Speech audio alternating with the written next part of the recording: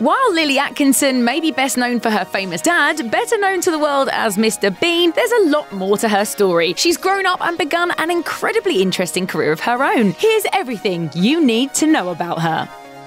Born to perform.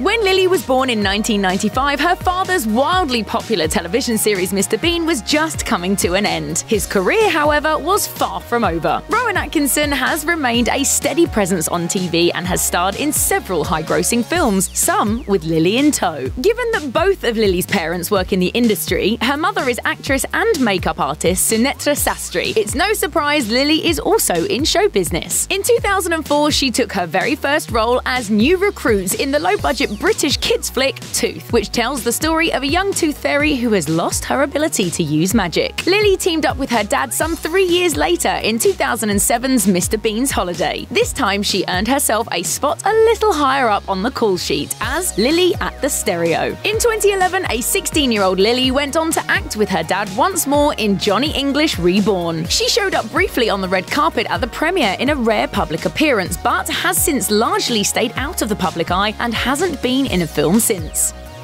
A new career. Lily may have given up on films for the time being, but she didn't part ways with the entertainment industry entirely. Instead, she decided to pursue a singing career in cabaret. Her first big cabaret performance was in September 2015 at the Pheasantry, a well known supper club in London. After selling out the Pheasantry, Lily starred in her very own one woman cabaret show in London's West End called Simply Lily. The November 2016 show featured Lily's original songs with the accompaniment of a live band. Lily told My theatre mates. Vocally, I am better than I have ever been. Physically, mentally, it's the hardest I have ever worked on a gig. I have just challenged myself in every possible way and taken risks. One local critic raved about the show, calling it Soul in Glorious Technicolor. She's certainly following in her father's footsteps. In 1981, Rowan Atkinson became the youngest performer ever to star in a one man show in the West End. Name change.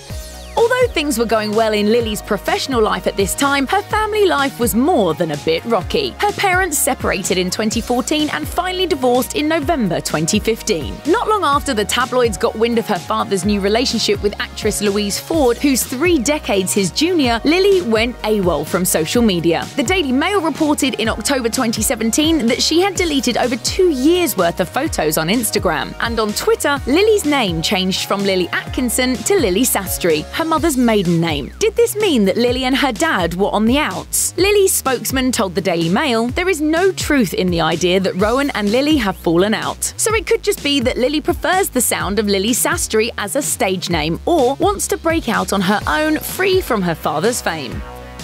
Moving on.